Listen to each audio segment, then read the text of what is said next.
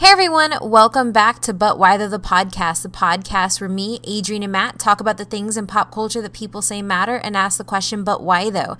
Before we get started, I wanted to make sure to let you all know how you can support us. The first thing, rate, review, and subscribe us on iTunes, Stitcher, and anywhere you can. It helps people find us and it helps get the word around. Also, follow us on all of our social media on Twitter at But Why Tho PC and Facebook, facebook.com slash But Why Tho PC. And we're now Twitch affiliates. So at twitch.tv slash But Why Tho PC, you can find us streaming anything from Overwatch to podcast editing to possibly some movie nights coming along. Go ahead and drop us a follow, and that would be awesome. We also have a sub button with a nice spicy emote. And if you want to support us a little bit more, check out our Patreon patreon.com slash but why though pc so thanks for listening and thank you for all your support. Enjoy the show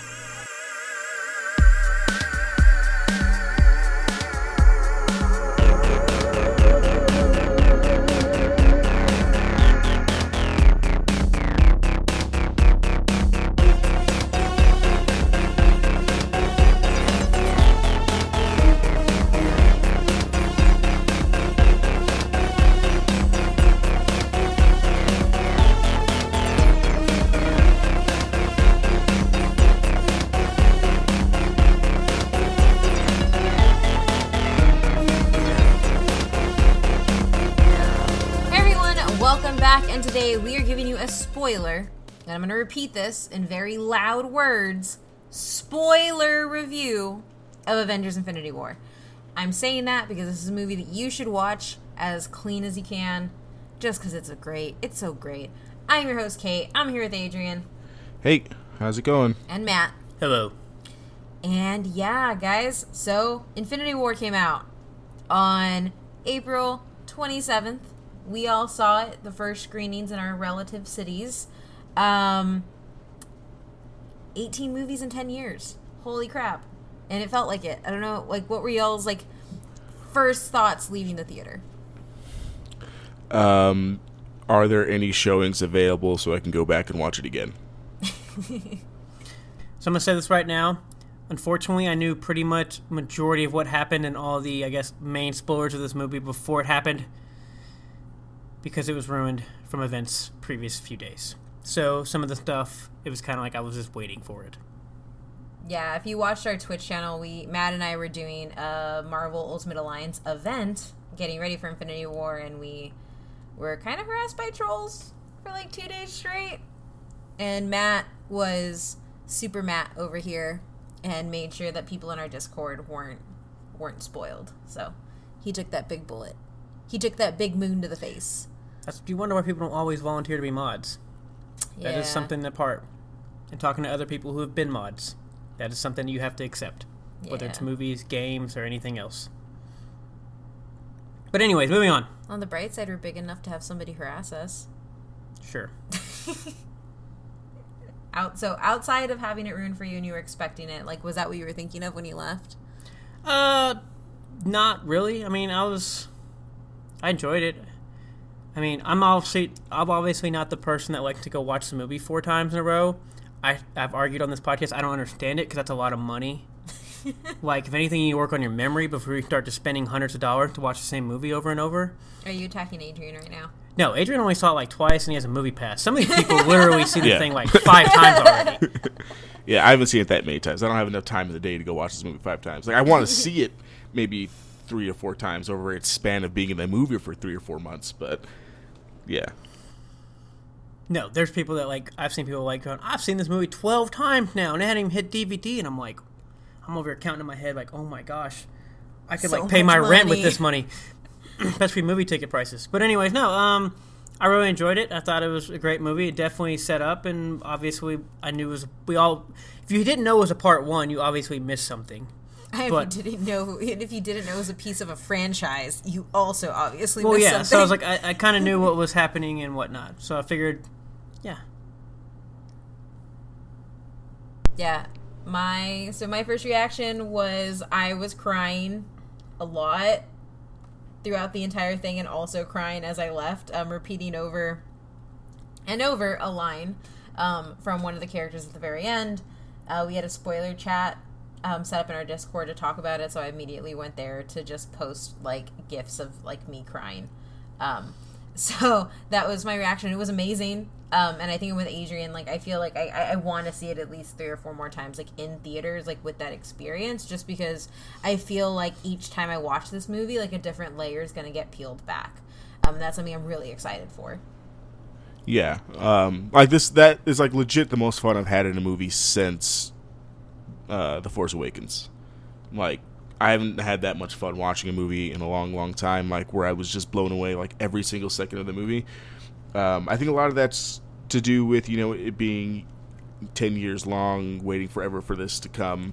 Um, but I think also a lot of it has to do for like, um, unlike Matt and Kate, I didn't have anything spoiled. Like I didn't even watch any of the trailers for this movie, so I can like tell what was in the trailer based on like my odd like the theater's reaction to stuff, like some of the jokes and stuff. Like, uh, I guess when Spider Man was like, "Oh, reason are fake names," I guess that was in the trailer. That that line killed that line killed me in the theater, and I was laughing my ass off. I thought it was hilarious. But I don't know. I think a lot of like it just everything just kind of came together, and it was a great movie experience for me. And yeah, it, it was great, a lot of fun.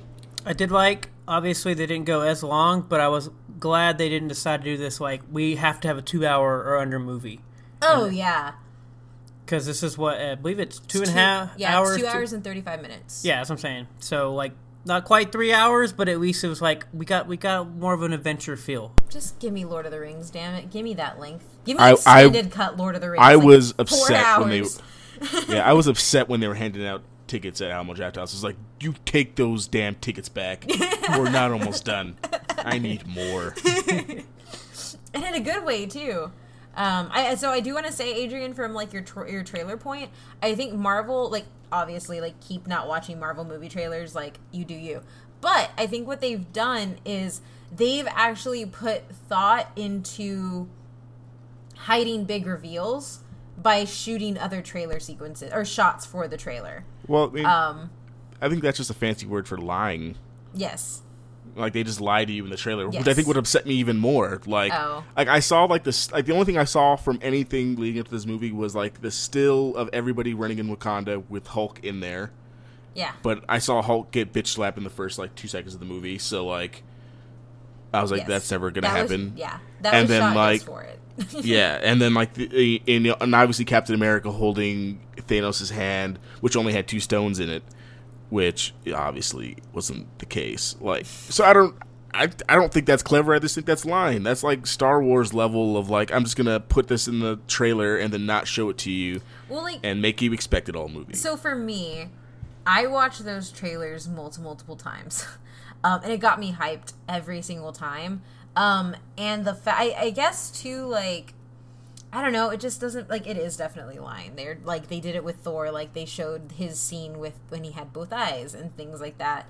And like here, they showed Thor with only one eye in a lot of the shots, and like Rocket gives gives him a found eye, um, because he's Rocket and he steals body parts. Um, but like I really liked it because like I don't know, I don't have the willpower you have, Adrian. I'm gonna watch every trailer ten times. So like I'm totally gonna be like, oh shit, they didn't do that. That's awesome. Yeah, but can I be honest with you? Like during during the trailers for Infinity War, I was like, God damn it, I'm gonna do this for the rest of my life. Why am I doing this to myself? But after this movie, I'm like, I'm so glad I did it. I'm so glad. So you can just be like Like- me. I don't watch. I watch the trailers one time. Yeah, I just like I give myself one time, and then I don't watch anything again. I think the really thing that like really kind of reinforced my thing is that they showed we, we went to go watch it a second time in the um, the theater down the street from us because there was like the only theater that had openings, but they showed um, I guess like the latest Jurassic World trailer that gives you like the subplot of the movie, and it's like gave you, it gives you like the whole movie if you've watched like two trailers, and I just hate that so much. Like, stop giving me subplots of your movie. Now I know that there's a subplot of Jurassic World, and now it's not just them saving dinosaurs anymore. I don't, it's I've seen dumb. Jurassic. I've seen that trailer like four times, and I don't know what subplot you're talking about. Also, I love how everybody keeps saying Jurassic World when it's Jurassic Kingdom. but oh, everybody just knows. Oh, Fallen Kingdom. It's Jurassic World Fallen Kingdom. It's still Jurassic World. Yeah. It's just Jurassic World Part 2. Yeah, Jurassic World Fallen Kingdom. It's like saying Jurassic Park Three is not Jurassic Park. It's Jurassic. It like, wasn't Jurassic Lost Park. World. Did you- Lost World. Did That you is- see that movie? It was not Jurassic Park. that was a disgrace, and I was actually more hyped for that one than I was Lost World.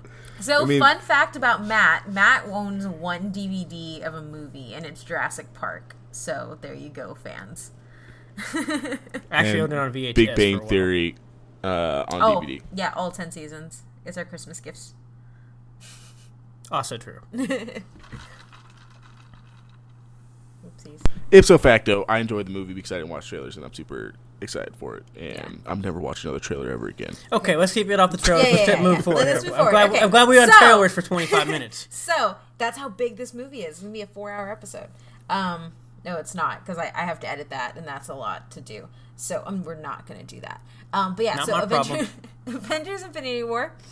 Uh, it was directed by Anthony and Joe Russo. They gave us The Winter Soldier and or Captain America Winter Soldier and Captain America Civil War, arguably the two best two of the best movies in the Marvel Cinematic Universe. Um, I think they knocked this out of the park, obviously, from what we all just said. I just want to say it is fascinating that two brothers were able to do this. Not just Yeah. like that they were able to do it together, but the fact that they've made it both at the same stature of in the same thing to be able to do something like this. oh, like come together as a package deal. We'll either come to pa- together as package deal or even make it as directors in general at the same Yeah. level. Because most time you have, you know, one, two brothers don't actually do that or sisters, but usually even if they do, usually one's very, very good and the other one's Yeah. like, eh. So like they kind of like they they kind of follow the same trajectory as the Wachow- uh, the Wachowski siblings. Like all the stuff they've done, they've done together. Right. So they've been able to like do that. But yeah, I don't think I can name another sibling other than the Wachowskis. Yeah, because usually there's at least a different, definitely either in skill level, directing ability, Yeah. and how however they do it. Yeah, I can't name name a better duo to be honest. Yeah. Um, so, and it was uh, one of the cool things is if you notice in the movie, a lot of the music is tied to where the people, like where the different characters have come from in their solo movies, but then also heavy tone of the original Avengers soundtrack. And that is because they brought back um, Alan Silvestri um, to do the score for this movie, which for me gave me so many feels. Um, No, yeah, music is solid for sure. Like, yeah, like the thing, the one that jumps out to the most to me is when you know Cap talking about going to Wakanda and the drums kick in. It just it just works It's so well. Oh, the transitions in this movie, like with the music, is perfectly. Even like when they go from, um, you know, the Avengers over to the Guardians of the Galaxy, and they kind of like change the music there. The music in this, the score in this movie is, is so so good to blend all those movies together and it not seem like forced or over the top. Like so good. it's a feat. It's just it, it's I don't know what can replicate this. Um. Anyway, so we're gonna get away from fan from fan from fan peopling here. Um. Let's talk numbers to prove why what we're saying, like kind of like back up a little bit of what we're what we're doing. In and you mentioned the Force Awakens, it smashed every record that was held. So these are there's an asterisk next to these numbers because these are the projected numbers and basically the numbers that are not completely official yet due to the time that we are recording this.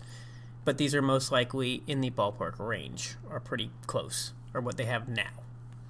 So we're recording Sunday night. Um, it's nine thirty. There's probably like three more Avengers showing at every theater across the U.S. Um, and so domestic, it's made two hundred fifty million. Foreign, three hundred eighty million without China. And so worldwide, it's sitting at six hundred thirty million dollars opening weekend. Yeah, that four day is going to be huge. Yeah, Huge, huge four day. I can't wait to see that number. like this is insane.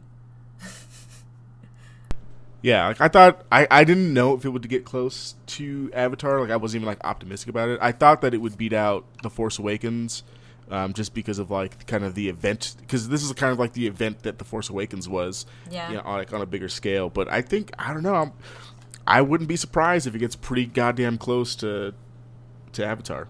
I think it's going to be based on two things. One, whether they do like what they did with the first Avengers and Avatar and do a re-release in the late summer Yeah, to end of the or into the fall.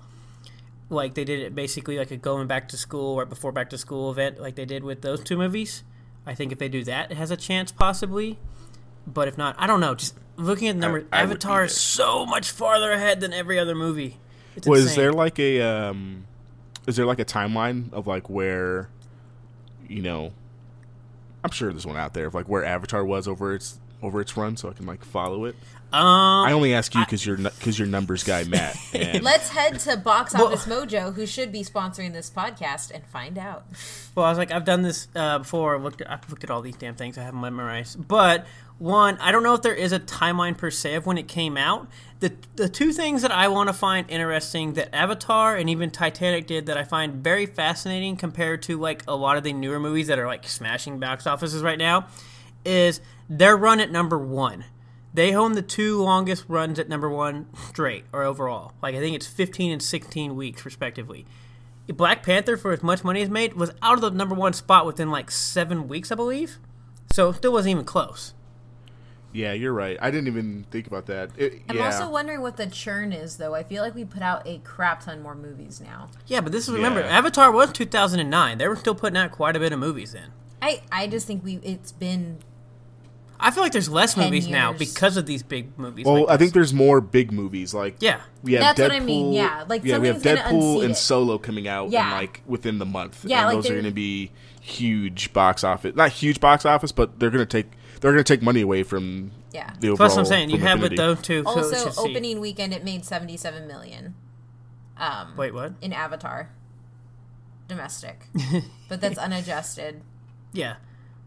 And also, was the re-release the 3D release, or was it 3D release when it first? That I'm not 100 released? percent sure. on. That would be interesting because that might be why it had it for so long. But also the other, well, I mean, they did do a re-release on the thing. Avengers has a re-release too. People like to bag, rag on Avatar about this. Avenger has one as well. One of the things that I want to point out too, just like looking at the Avatar numbers, it made two billion foreign. Yes.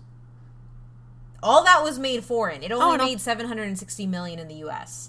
But the thing of the matter, like we talk about, is guess what? Foreign people matter. Well, no, they Come do. on, China.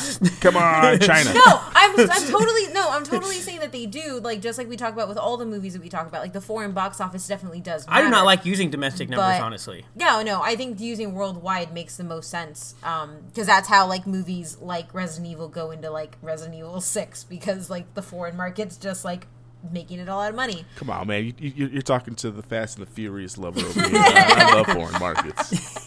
So like, uh, there has to be some way your franchise stays all I alive. like all I know is in one weekend it's already hitting the domestic number and China it hasn't released in China and it's already sitting at 380 million for the first weekend foreign. it's not So hitting the domestic number. It's, It's only almost hitting the domestic number. that's worldwide though. It's actually not. Clo- it's still not halfway to the domestic number Uh, right now. yeah. Domestic's only 250 million. Okay, now my it's gonna smash that. I'm not saying it Yeah, won't. it's gonna smash it. Well, like we'll come back. We'll do a reassess. So, but it, either way, it's the main thing I have to say about the Come Avatar y'all. thing that people just, don't just realize. Be honest. The main We- thing we about- just hate James Cameron right now, right? Yes. Is that is that what it is? We just want it to be because James Cameron sucks right He now. just needs to stop talking. shut up and make a movie. Just. Uh. But no, the main thing that people don't realize is how far Avatar is ahead. It's six hundred million dollars. Like right here, just what Infinity War's made right now. That's how much it's ahead of the second closest movie right now. Yeah, we'll see. So basically, you need to take this opening weekend, Yeah. and then you have to have an entire whole other run, and then Yeah. add that. Yeah, I, I, I kind of want to lean in Adrian's camp where I think if something was gonna beat or at least like get to Avatar, it's gonna be Avengers. I'm not saying it doesn't have a chance, but this is probably your best bet. I just want people to realize how much farther Avatar is in front of everything else. and yet he still hasn't made a sequel in ten years. It's almost. I mean, it's over half a billion ahead of everybody else. I know, and that's That's why- what's so That's amazing. also why I don't understand why he hasn't made a sequel yet. But He doesn't okay, have let's to. Stop, let's let's stop talking about. Well, he does because apparently he's mapped out five movies up until 2025. okay, But superhero movies are I the know, problem. I know. I wonder if he'll So- explain his characters or if he'll just assume that everyone has watched uh, four movies before that. Now let's go into the ratings from people. um, it is sitting at a 9.1 at IMDb. This is the weirdest thing. It is sitting at a 68% on Metacritic, an 84 critic score on Rotten Tomatoes, but a 93 audience score. Um, No, the main thing that bo- that's weird about this is a 9.1 on IMDb. I do not understand this rating that system. I don't either. All I know is that I have read multiple reviews where they're mad that they didn't explain the characters in the movie. Yeah, I don't get it at all, really. Um, I don't. I, I don't think we should like spend too much time on this, other than just saying like it's just kind of dumb. Just because like this is a different kind of movie than because comic book movies are terrible at doing this, like right? Like they do this kind of stuff all the time where they don't explain their characters, but none of them had have had 18 movies lead up to it. Like X Men Apocalypse, like they do it, don't explain background characters, like that's a problem. Uh, Justice League, they just throw characters in there, that's a problem. But like you had 18 movies to learn these characters, they didn't give you anybody new other than Thanos in this movie. So like, what are you so upset about? And If you're Thanos, seeing they it- give him like a great backstory. Yeah, and they get and the one that they did give you, you got a great backstory from them. Like, it, like, why did you go see this movie if? Because first of all, like, I feel like these people know these characters. They're just talking out the ass just to get some views or some reads on their their website. Is all I feel. Like, feel like. So I know that's the main hot take about what, not having the backstory, but my still my favorite review that I saw was that was rotten. Was the guy literally put? I believe it was a guy, maybe a woman. Now I have to remember exactly. It was a person. It was a person, obviously. I don't know if it was a person, honestly, reading that. But, anyways, they literally go, the movie was never boring. It was visually compelling. It was. It made them wanting lots more of the movie, and it made them sad. It was awful. What? That is still my all-time favorite review. Reading all the weird one. I get the whole backstory thing is ridiculous, but that is still my best one that I've seen. I also had one that said that it was too emotional and that it kept yanking you around with different emotions the entire time. It's like, did do you not want a movie to do that to you? The second favorite one was they said these movies have repet- too much repetitive violence. What? what? Huh? What And then, of course, there are all the ones. You mean ones- Thanos smacking people around? That's what we came here for, y'all. We came here to watch Thanos kick ass and take names or take ass. Those are my two kick- favorite reviews. I get all the other ones and how ridiculous they are, but those are my two favorite ones because those are the most confusing to me. Yeah, the other one, uh, the other like thing is too is like serious film critics are like this is this is a culmination of showing how movie film has been ruined and comic book movies are a death to the genre and like Go watch a movie that 10 people are going to watch and give it 10 awards and circle jerk yourself. I don't care. I hate comic book Yeah, or the thing, the thing like that that is just bad about that critique is that like nothing has ever done this before, yeah and no one can replicate it. Like literally, no one can replicate it. DC can't replicate it.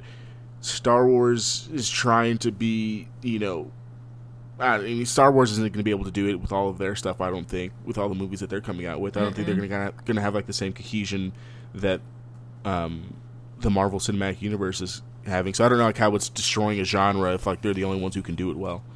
yeah but anyway, so it's enough of that. yeah We got the let's ratings. go into the movie so there's like 20 plus leads here just to start off like every single main character and close supporting characters in a comic book movie is in this movie or in a MCU movie is in this movie um which is insane to think about like that's a lot of money um, and their budget was 300 to 400 million dollars which is actually typical like blockbuster budget Yeah, I was going to say like it just doesn't have uh, Paul Rudd and what's his face, it, it's, it's it's the only people you don't have. yeah it Even though they Hawkeye. advertise Paul Rudd on the posters, I don't know why you didn't give it to me in the movie. But well whatever. so what i'm Besides actually the point, I guess. So, well, what I'm thinking actually is that, well, they don't advertise him in the final posters. They advertise him in the Comic Con release posters. And so I looked this up, and it looks like, of like both, of like both Avengers three and four were being shot and then divvied up. Uh, okay, yeah, that makes if sense. If you look at a lot of the clo- like the set pictures that they have of Hawkeye on set of Avengers, it's not actually here. Same thing with some of the stills of Cap in his Avengers One uniform with um, RDJ and Paul Rudd. Um, and so a lot of it is the thinking that they shot it longer so that they could have people all there, and then they cut it into two movies. Um, yeah. yeah, I guess that makes sense. I Yeah. guess. Like obviously like they're still working on Avengers 4, but like it's coming out in a year, which means that they have to have that almost completely done. Can we just talk about how awesome that is? What? Like that's like we're gonna get the next one in a year. like Oh, I'm not gonna have to. It makes me so I'm not gonna have to wait. Oh, I'm so excited. Oh, I'm so excited. I'm really excited. So can we actually get to the actual Yes, movie yes, yes, the now movie, that we're like movie. at okay. Sorry, the movie. Um, it opens directly after Thor Ragnarok's uh, closing scene with the giant ship, and you realize, oh crap, all the Asgardians, half the Asgardians, half the Asgardians are dead because I'm ready they- to hurt some Thanos people right only now. kills half of people. I'm ready to hurt some people right now. Thanos only kills half the people. You're just Um, salty because Korg and Valkyrie are dead. Don't forget Miek. And Miek. Um, that is not confirmed. Thank you. During my sec, during my second viewing, I scoured that first scene. We see no Korg, we see no Miek, we see no Valkyrie. So They're dead. not technically And dead. and you see that like Heimdall could have easily had been torting people out before he was attacked. Where are they going? To the broken Asgard? He didn't know where the fuck he was sending. Like, he just sent fucking. Oh, he, he Hulk. you oh. tell me he didn't know where he was sending No, him? he He, sent sent him him. right to the him. Doctor Strange house. All that matters. I just, is, I just feel like like Korg and Thanos would like bro out, and I don't think Thanos would kill Korg. I feel like Korg would just be like, "Hey man, it's a that's a nice gauntlet you have," and like he would let him live. At first, Like, I I'm don't feel gonna like lie. Thanos would kill Korg. At, fu- at first, I thought his uh, actual the first the main lackey with the giant axe was Korg for a second. I thought he betrayed him. that would have been great. I would have loved the heel turn. Actually, I would have been there for it. But funny, to say this, they kill anybody that betrays and real- willingly fights them. And if you're telling me either Valkyrie and them did not fight, Oh, Valkyrie they're would have fought for or they were sure. sent away on a Bifrost. to where? And Anywhere. Matt. The ship is blown Anywhere. up. It's the fucking cosmos. It doesn't matter. And I mean, There Thor are survives nine in space, worlds. so like even if she got like shot into space, like she could technically survive. And Korg's a big rock monster. Yeah. Miek, I feel like Miek's probably dead. I don't think we're gonna see any more Miek. we might get Korg. I don't know. I'm, I'm hopeful. Yeah, that is true. Like Thor did prove that Asgardians can survive in space. So Yeah, like very multiple times during of the movie. no, not short. No, he- short amount of time he got He held by open like the fucking thing. star. Like, yeah, like I think he's good. Anyway, She's um, dead. Shut up, Matt. um, I was. This is like where Infinity War drew my first tears. Um, and I cried really bad when I saw Idris Elba on the floor. I was like, Heimdall, no, Heimdall can't die. Yeah, I was more sad that Heimdall died than Loki died. well, I want Loki to stay dead. I want Loki to actually have a death that matters. Yeah, his death is pretty good. Yeah. Um, because Loki pulls his I'm the god of mischief, Thanos, I'm here for you. And then he well, first he kind of like betrays him and says, We have a Hulk, which I like this is like the start of like, oh my god, they're gonna reference their entire universe in this movie. Yeah. Because that is exactly what what um, Tony says to Loki. And he says that would you like to describe the big dudes fighting, Adrian? I know you love big things fighting. Yo, Thor, uh, uh, Hulk got worked, son. like, whole he got beat so bad he didn't want to come out the rest of the movie. Like, I know we're we're gonna give Peter Quill like shit like later in this in this review, but the Hulk went out like a punk and didn't come out the rest of the movie because he got smacked so bad by Thanos. Like. That's how that's how bad the dude got worked. He got outboxed. Oh, it was just disgusting, and I loved it. From That's like, why I was disappointed. I was like, Heimdall saved him. I was like, he wasn't worth saving after that. Yeah, he got worked. Yeah. He was crying when he got punched in the shoulder. He's like, "Uh," and then he got just smacked in the ground like the Rock style. Oh, so good. there's this part where Thanos like rams Hulk into his knee, and I was like, "Oh shit!" No, yeah, no, he is like legit boxing him, Yeah. like ducking out of the way, hitting me in the kidneys. It was dope. I think Oh, so dope. for the most part, I think this just sets up the movie on how well because they do lead with the Hulk as basically as they always say, the Hulk is like their OP character, and he basically beats him in four minutes. Yeah, And I think yeah, that sets s- up like the whole entire scene. Of Yeah. the There's no You hope in this movie. You see Hulk get smacked up and Loki and Thor getting dragged by his skull. Like, I did not expect it to get into the movie that fast. I'll be completely honest. Like, my pizza had just got there. I was like, all right, I'm going to scarf this down. There's going to be at least 10 minutes of, like, story building. No. No. You, you don't get it. You're, We start off and everybody's dead. Yeah, no bathroom breaks in this movie. No, I we I had to go like an hour in, and I held it. I held it. I was not missing anything. But like so, um, Loki's love for like, I really liked Loki here because it showed that like Loki didn't just abandon that bond that he had built with Thor and Ragnarok, which you've seen happen in frick in in Dark World and stuff like that. And you have Thanos just holding Thor's head and Loki like essentially giving over um the the space stone or I guess they're gems now or they they gems or stones. They're stones, right? They're Yeah. gems in the comic, stones in the MCU. Yeah, I'm pretty sure they call yeah Okay. stones. Okay. Um, giving over the space stone to Thanos in order to save Loki, or in order in order to save Thor. Because he's the worst brother ever. I know he's such a terrible brother. Um, and then he gives you his whole Loki speech. You know, I'm the god of mischief. I can help you. I can show you around Earth. And then when he's about to like pledge his fealty, they do this really close up shot where they show him materialize his blade, and then they go directly to Thor's face, and Thor's face is like, "Oh my god, no, brother, don't do that." And then he attempts to attack Thanos. Thanos grabs him by the neck, and he's dead. And I cried so hard. So I think the part that you left out, which was the nod to it, is when he said "son of Odin." Yeah, That was kind of the nod. yeah, Oh yeah, That's especially right. after him saying like, "I'm not Asgardian." yeah. First of all, yeah.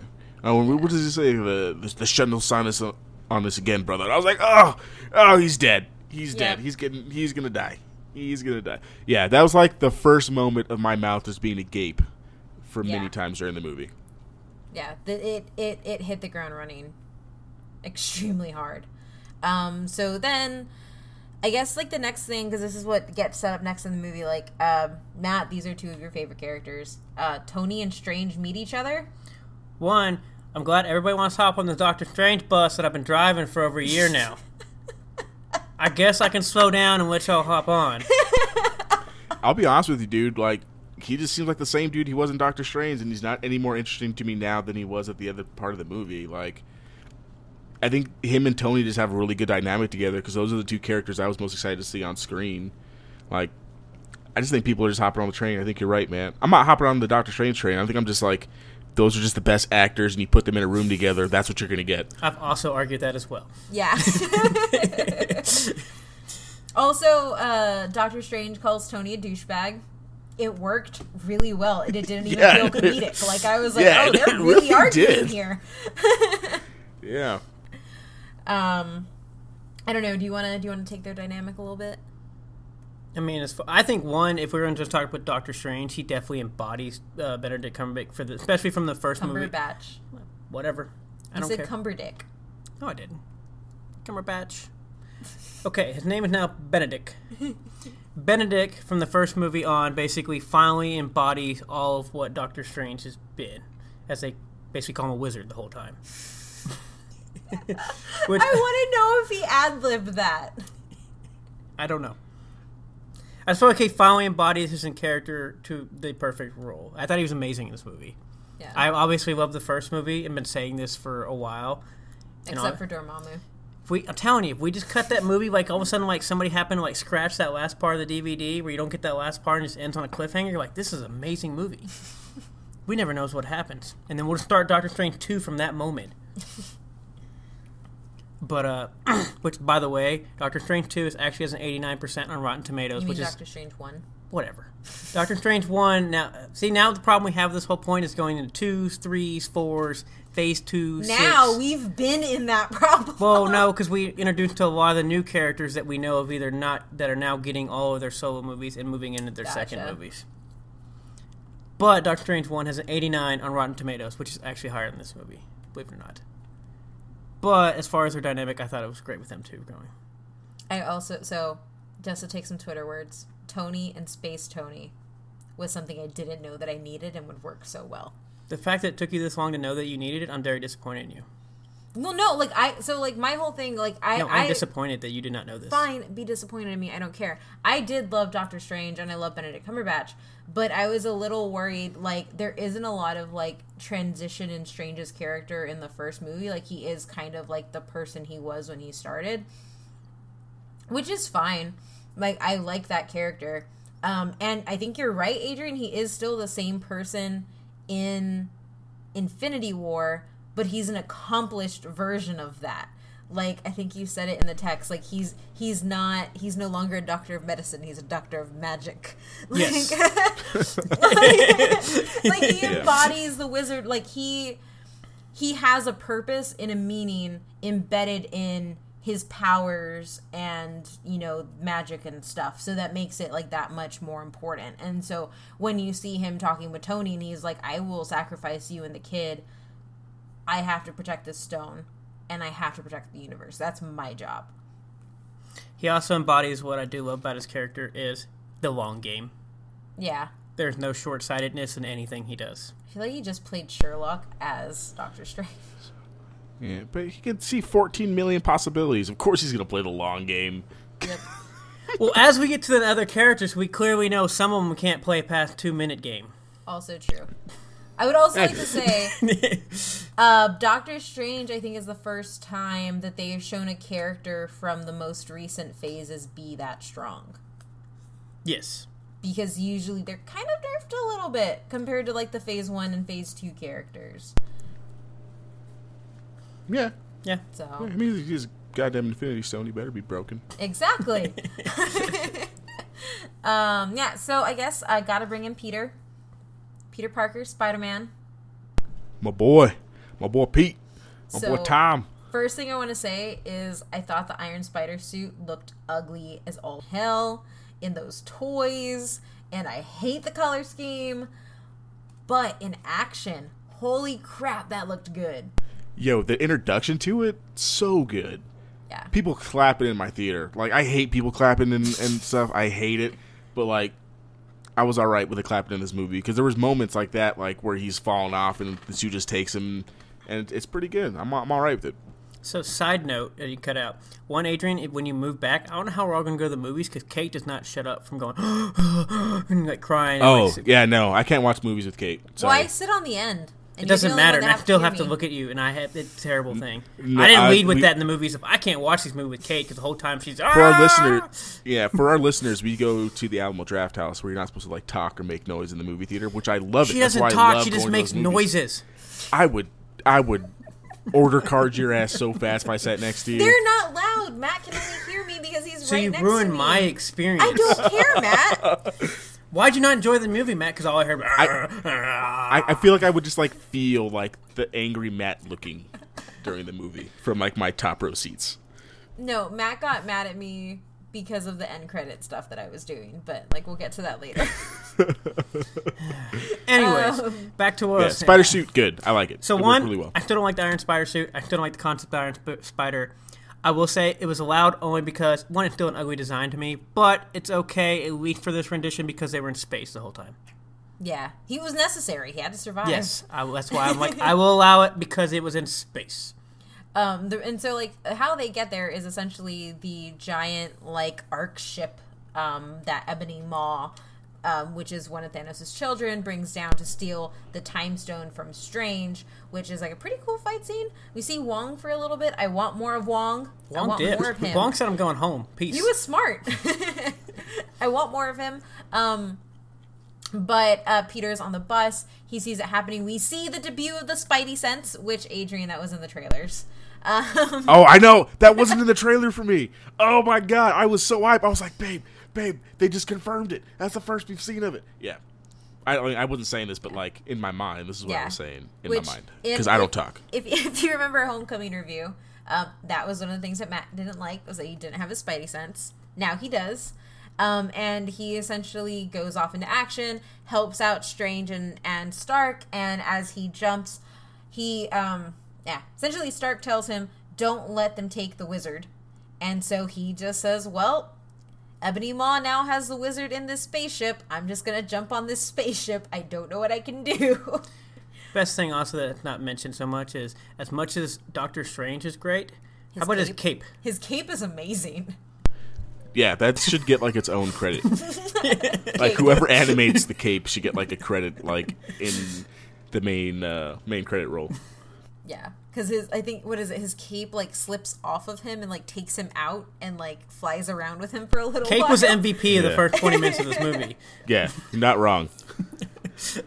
Decent magic death blanket. Um, So then you have Stark do his whole like initiate whatever Friday, which gets the suit up to Peter, which you realize is actually the Iron Spider suit is all about intuition. So it's like kind of integrated into him, his spidey sense, and so the reason it it unleashes the iron legs as well as you know saves him when he's on the um the ship and he stays there and goes to Titan with Strange and Stark is because of how it's integrated into who, like his body. So that was really cool. Which does that mean we're going into nanotechnology? Stark's going to nanotechnology because if we let's let's talk about some Tony Stark here. He put his arc reactor back in his chest, which which uh, Pepper seemed very mad about, and it holds nanotechnology, which goes into the bleeding edge armor with which the bleeding edge armor in the comics is phenomenal. Um, I don't like the way it looks in the movie though. I actually really liked the way it looked. I liked it. I As liked soon it. as he touched his chest and it came out, I was like, "Oh, I love the snap. nanotechnology. Oh, it was good. I'm all about it. It was Uh, OP, especially because like later in the movie, great. it, it, it pays off so well. Like later in the movie, which we'll get to. But like I thought the suit design was great because like every every you know movie we've had something new. Like he's we're we're getting, we're getting to the point where we had to do something like a lot bigger from you know Age of Ultron. So I'm glad I'm glad they went right to the nanotech. Yep. For those it. of you who don't know, nanotech is the future. You will be eating nanobites soon to save you. I'm not. la- I, I know it's true. I, I've seen those same curiosity documentaries. Um, so into the next stage, we're going to. I'm going to move us over to the Mind Stone to talk a little bit about Vision and Scarlet Witch, because they made her great.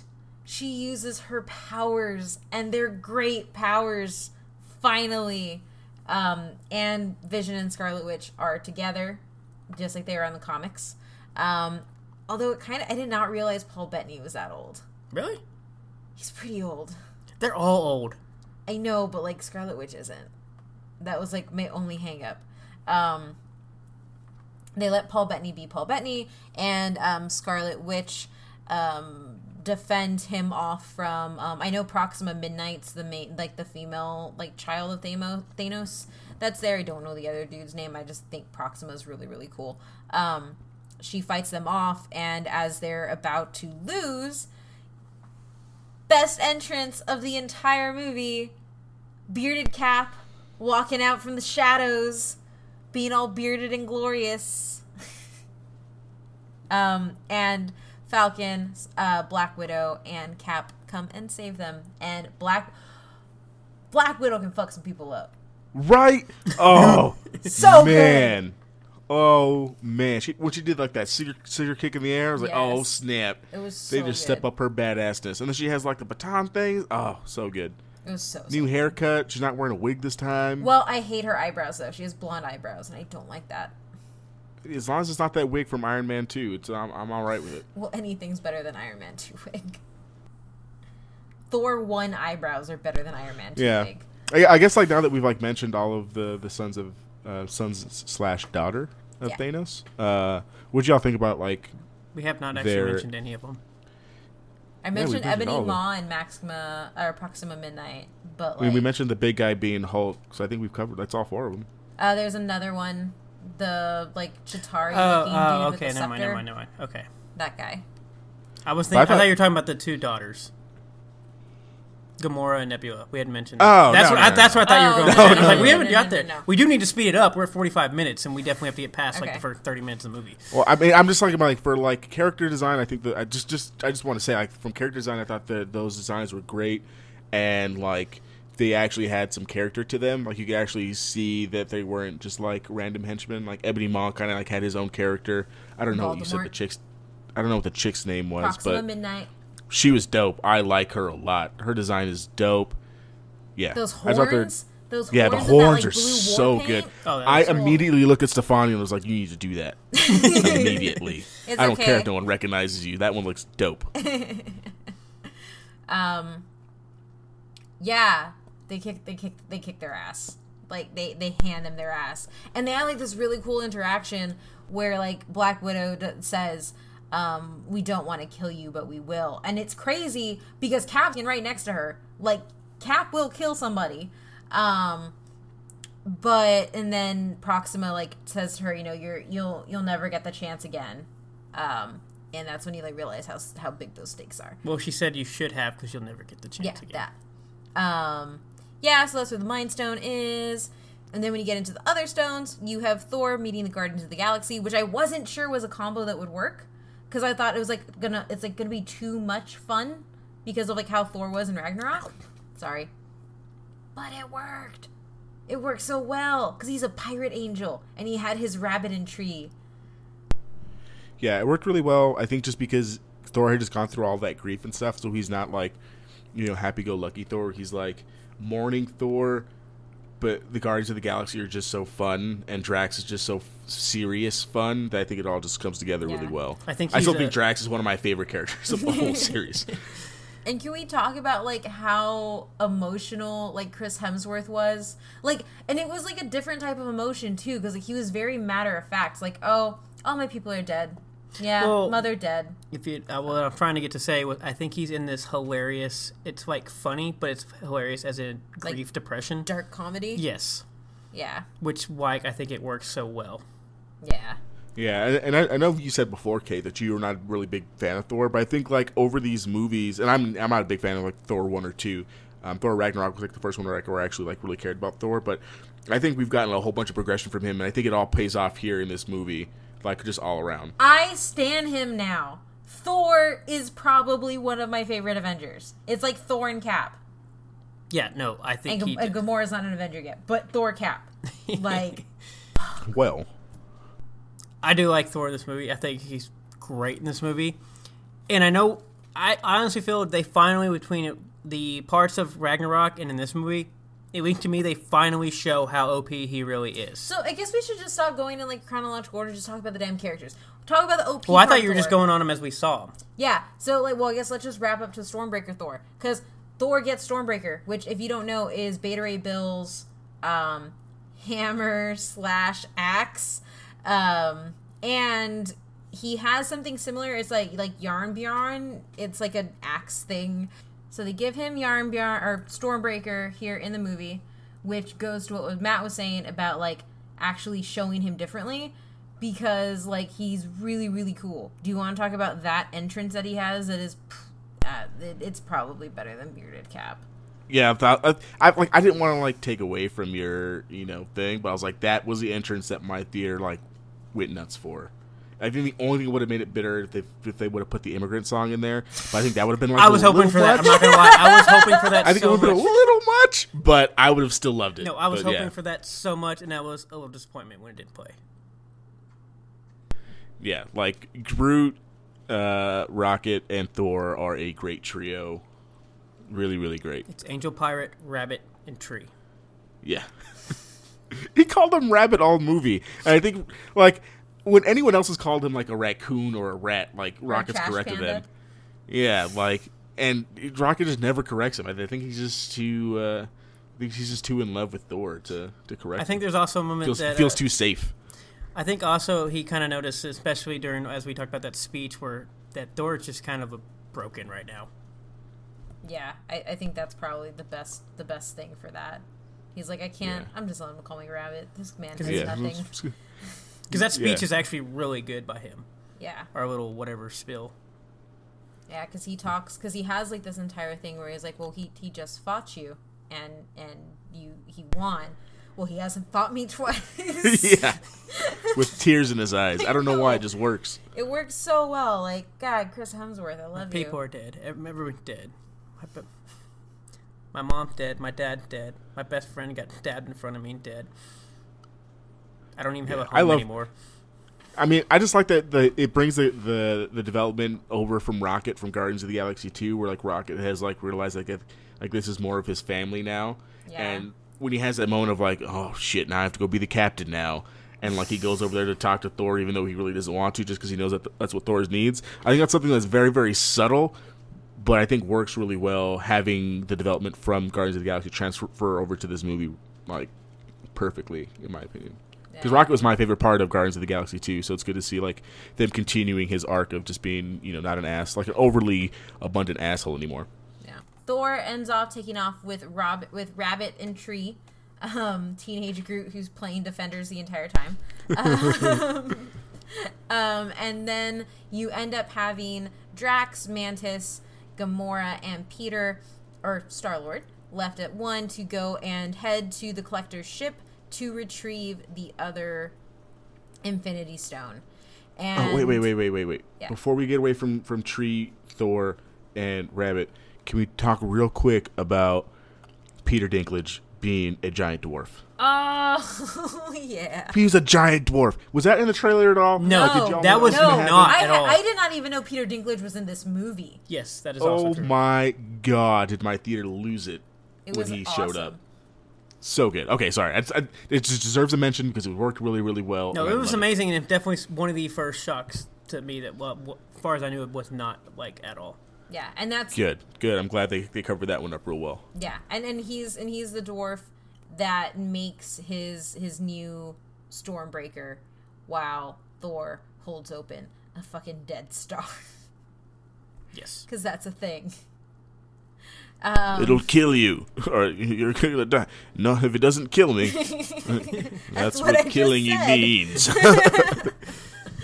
um, say the Guardians of the Galaxy. Um, this is where like Gamora kind of steals the show for me when it comes to like outside. Like I think when it comes to building depth from their previous characters, because I think Thor got a lot of depth in the last movie, and Gamora's kind of gotten the short end of the stick of being like just the strong, the strong female character. Like she kicks ass, which is awesome, and I love her for that. But like you don't get a lot of the, the moments of her building relationships out beyond that point. Like she's usually defined by other characters. And here you really get to see her backstory because she explains who thanos is what thanos does and you get to learn like he slaughtered half her people in front of her and then took her. Like it's really deep. And you realize how much of a child she was and how much she trusted him. And you get like you get to see this build up when they go to the collector's ship to save um the reality? Yes. yeah. To save the reality stone um she pretty she thinks she's killed thanos when she attacks him and it turns out not being him and and she's like crying on the floor because of how much it hurt. And this is after she told peter like if thanos gets me you have to kill me. Um and Thanos ends up materializing again and holding like holding her and you have like this really like big moment that I think solidifies like Star Lord's and Gamora's relationship where like Peter is like cry there's so many tears in this movie um where Peter is like crying try- because he has to make the decision to like honor what she said and shoot her and kill her so that Thanos doesn't take her.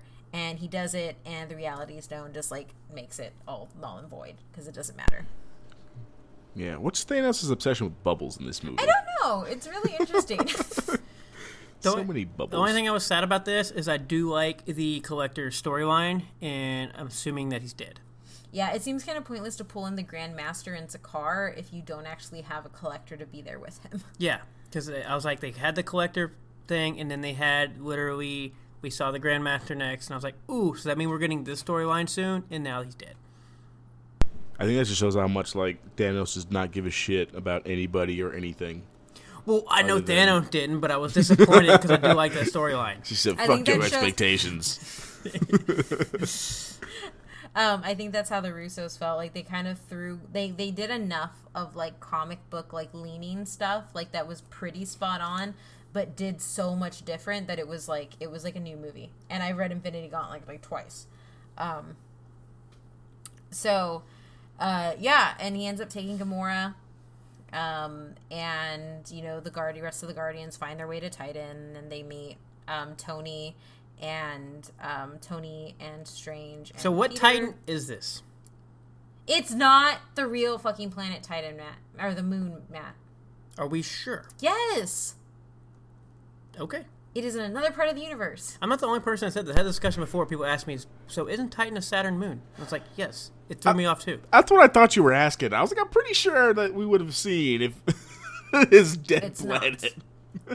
It's not. It is an entirely different Titan. Um, and Thanos is called the Mad Titan because Titan has Titans on it. Okay. Anyway, not the moon, Matt. Um, Thanos could be living on Titan right Matt! now in the liquid of methane. Oh my god, no.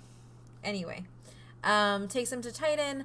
Uh, and I just want to, like, real quick, just kind of hit on the point of Thanos and Gamora and Nebula, because, like, Thanos ends up having. So at the end of Guardians of the Galaxy 2, Gamora, like, or uh, Nebula shoots off to go find Thanos and go kill him, and he ends up capturing her.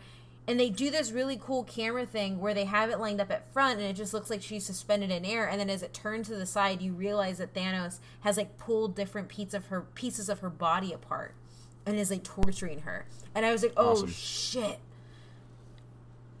There's, Awesome, awesome. yeah, it was Scene amazing sure. shots. And then like you end up seeing this like connection between Thanos and Gamora where she's lying to him about knowing the whereabouts of the soul stone and he says um, you know, you're the most I think it's like you're the deadliest swim in the galaxy because I taught you, and you're this because I taught you, but I didn't teach you to lie or you'd be better at it. And she ends up I was actually surprised she did not give it up, and she was going to let Oh, that's right, because they, they show the the eye yeah, where she tells Nebula, "Don't worry, I have the Soul Stone. He can't get it, or I have the map. He can't get it." Yeah, no, she it." actually was going to let her die, which actually I That's thought right. was cool. Yeah. Scratch that. Yeah, super cool scene. I really, really liked it. I like that she was going to let her sister die for the Soul Stone. Yeah. Yeah, I think that's like this is That's like our first um, showing of like how dope Josh Brolin is as Thor. Like, You mean What? Thanos? uh, Thor, yeah, it's Thanos. Like how dope he is, like delivering his lines and just showing like I don't know, it just feels like he's really there. It's awesome. Because because when he's telling her like those lines of like you know you know you're bad you're a bad liar because I didn't teach you. I was like, oh man, he is he is going in on in on this. So I just like that because she demanded that Peter kill her, and then Yeah. the fact that she was willing to kill her sister, have her sister die, just Yeah. not to know. Because it, was- it would have been bad if you're demanding Peter to kill you, but you're not willing to even do your Yeah. own. No. You you right. You right. I think what it was is Nebula like Nebula ne- in my head I have like this giant sister arc for when Nebula because in the comics Nebula ends up taking the Infinite Gauntlet from Thanos and I like yeah things like that. Was that really necessary What? in this podcast? What? Why? We don't need to be telling people what part About two- comic books that have been out for years. They may not have seen the first 18 movies. And, And I doubt that they're gonna do that in the movie. I'd be disappointed if they did that in the movie, to be honest. Honestly, I don't know. But Yeah, keep no, I going. don't We'll want find yeah. Um, so anyway, um, he ends up going to the Soul Stone area, and the reason I'm doing this is because, like, for me, like Gamora is amazing in this movie, and I feel like I know her now. So, um, they end up at the top where the Soul Stone is, and you actually find out that Red Skull was zapped to this planet when he was sucked into the Tesseract in Captain America First Avenger. And Red Skull has just been sitting there waiting for people to come. And so he guides him up to the top. He tells Thanos, um, you have to give out up what you love most to get the Soul Stone. And fucking Jeff Bridges starts crying. And Gamora is like, Who Jeff Bridges this whole oh, time? wait, sorry, Josh Brolin. You said Jeff Bridges Yeah, like it's three Josh times. I have. I was Josh like, Brolin. Jeff Bridges in this movie? You said. Jeff Bridges like three know why I said times. Jeff You said it when he like Jeff Bridges kneed Hulk to the head, and I was just like, I'm so Oh, confused sorry, right Josh now. Brolin. Whoopsies. Whatever, Thanos. Thanos starts crying, and Gamora like takes the moment to like have like this triumphant like, oh, you're crying because you realize that you've lost, you've given up everything, you have nothing that you love, and then all of a sudden it clicks, and Red, Red Skull Skull, let her click. huh? Red Skull goes, I don't think he's crying about that. He's crying for you. Yeah. And then he hurls Gamora off a cliff. And I cried really hard. Um, and I'm really like, say it right now. Like one of the things that is kind of like really frustrated me, like looking at like a lot of people talking about Gamora, like on you know obvious like Twitter discourse, whatever. It really bugs me because people are saying, "Oh, she was weak in this movie. She the the tears were too much. They fridged her," and it's like they didn't do any of that. Like for the first time in a movie, Gamora had so much. She had fight scenes. It showed that she was capable. She's the she's the favorite daughter of Thanos, and he would not love something that was weak. And she was emotional, had depth, and like was a complete character. And like it was Yeah, amazing. I don't. I don't know how she's weak. She like legit thought that she had that she had him beat. Like, Yeah. she was delivering her, you know, exposition of like you idiot, yeah. and then she gets grabbed and thrown off a cliff by, what is he at this point? Is he still two stone? Yeah, like Yeah. still like two stone Thanos. Like, No, he's what three do you stone expect? Thanos. Oh, because he has reality. Yeah, he's Yeah. three stone. Yeah, she's three stone Th- uh, three stone Thanos. Like, where does she get? She's supposed to not get thrown off the cliff in that emotional moment there. Yeah. And then specifically her crying. Like, I've seen three different instances of people saying her crying. Like, Gamora wouldn't cry. It's like, shut up. Everybody. Thanos cried. Thanos cries, uh, Peter Quill cries, Tony cries, Thor cries. Thor cries, like everyone cries. cries. in this movie. Rocket cries, like everyone cries in this movie. Like, don't f- put it as just because she's crying, she's weak. Like, Yeah. then if, if by that logic, everyone in this movie is weak. Exactly. And for me, I'm just kind of like, like, a strong woman or a strong female character shouldn't just be one thing. They can be all these other things and still be strong. And so for me, like Gamora kind of like is my favorite piece. Um, somebody else start talking because I've been talking for a while and go through the rest of the characters. Well, give us something to go on. Uh, Wakanda. Pick up in Wakanda. So we Or what's next? from the Soul Stone. Yeah. Uh, they That'd go be to Wakanda Titan. next because no, I think it's Wakanda next because they. Um, Oh, that's when they arrive at Wakanda. Not he's Yeah. not back because he goes. To, it goes to they arrive at Wakanda and then they go to Titan. Yeah, I mean, we can always talk about Titan first and then Wakanda since that's where the last fight is. yeah, that's So fine. Titan and Thanos and then Okay. Wakanda Yeah. to end it? Okay. Yeah, because I don't know if he said it, but like they outsmart the the Maw or Squidward, as he's referred to in the movie, Yes. which has led to many a great meme. Thank you, internet, for that. um, and they throw him out of the spaceship, alien style, which I thought is great. Continuing the joke that Peter, uh, He doesn't want any Is- eggs in him. yeah, he's one. He's a young kid and only knows old movie references. Um, yeah, but, but then they crash on Titan because Titan's automatically programmed to go there. But then they run into the Guardians of the Galaxy, and you have them fighting each other. And one of my favorite moments of the movie ensues of like them trying to figure out who is working for who. And he's like, you know, where is Gamora? I'll do you one better. Who is Gamora? And then Drax, being the amazing Drax that Drax is, I'll do you one better. Why is Gamora?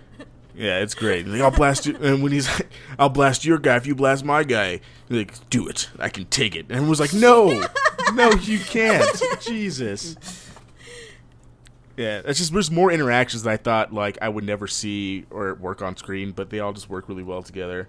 Especially the Peter Quill Tony stuff because you know both of them are gonna want to be like the guy who comes up with the plan, which I think is I hate Peter Quill so much in this movie. Not for like, not because he was bad, just because like he was true to. just because he's. Peter Quill. Like, yeah, he's just you. Peter Quill. Thank you. Yeah, he's just very true to character. He's just kind of like um, a dick. Like you, you get it from the beginning when he's like, "You can't take that pod." And he's Yeah. like making his voice deeper you to compete with deeper to mimic him? to compete with Thor. And he's like, he's copying me. Um, what I think is, and you just like have like Doctor Strange just on the sidelines, just be like, these guys are idiots. Pretty Like, much. these guys are He's literally just idiots. sitting on the sidelines the entire time, running the different scenarios in his head. Yeah, literal idiots. Um, what happens after that, Matt? There's so much stuff happens in this movie, and I'm not used to leading stuff. Yeah, just do the whole Titan scene. Uh, he goes to the time stone. Doctor Strange says, "There's I saw 14 million ones, and there's only one way we actually succeed from this." Then he gives him a plan. I'm like, "Okay, cool, let's do this." Uh, Thanos shows up on Titan. They said, "Hey, we killed your lackey." He said, "Well, technically he did, but he did a job because you're here." And then they fight it out, And then they're just about their little plan almost works, which lead to very good scenes between a mixture of powers between all the characters. That's like the best fight of the movie because it's the Yes. most cohesive use of a powers. Yes. Like he uses his little ring spinner thingy to make little discs for uh Star Lord to jump on, and it's so cool. Yeah, and he lets uh, Spider Man run through portals and he's uh, magic kick, yeah, magic punch, and all the while like Thanos is still like pimp slapping people left and right. He literally throws a moon. Oh, is that after like the whole? That's at the very end, but yeah. Well, that's technically the end part of the battle. They Yeah, kind the of go end of the back to battle. Yeah. Wakanda to show Yeah. that battle, but it is during place the whole time. Yeah. Yeah. Well, they have him like locked down, and you know, Mantis is on top of his head, and they're trying to rip off the Infinity Gauntlet, and Mantis is you know doing her Mantis thing of going through the movie. Quick note: Did you notice like when Mantis is like crawling around, she's like ha- having her hands folded? It was weird. I didn't like it. She's like an actual prey mantis. That's how actual prey mantises like fight and stuff. So and it blew me away the second time I saw it. Um, but Mantis is like telling everyone that like he's in a lot of pain because of Gamora, and then Peter Quill comes and basically can't not punch Thanos in the face for two seconds, and knocks Mantis off from basically controlling Thanos and. Thanos gets his glove back and just pimp slaps everyone around. 'Cause he almost had the glove off. Yeah. So the thing I did notice, and maybe I'm wrong since you watched it twice, but I do notice during this entire scene, which is I find do interesting, is Doctor Strange does nothing. Well, in the second time I watched it, I was thinking the same thing, but he is he does have like his little lasso ropes holding Thanos down. Well, I know he has that, but but besides, I don't know like how much that is you know him just cause I know I know what you're trying to get at like is he just letting him punch him in the face because like that's like the timeline that works or Well, because the reason I say that, because besides the lassos, he does not use the time stone at all during this entire time right now. Yeah. yeah yeah so like the theory is that he just like lets it all happen because he knows that that's, that's Especially like, when the only way it ends. works, Because that's so. what he says at the end. He says that it had to happen this way. Yeah. And especially looking Yeah, at that, it looked like, especially with him in the back, like, oh, I played my part of my role, and even though I know what can happen, because you can't tell me at that point he can't get Peter out of there. Yeah. Out of everything Yeah. he's shown in this movie. yeah exactly Which, um, is this when Iron Man gets stabbed? No. No. Well, I mean it's still on Titan it's on Titan, but no.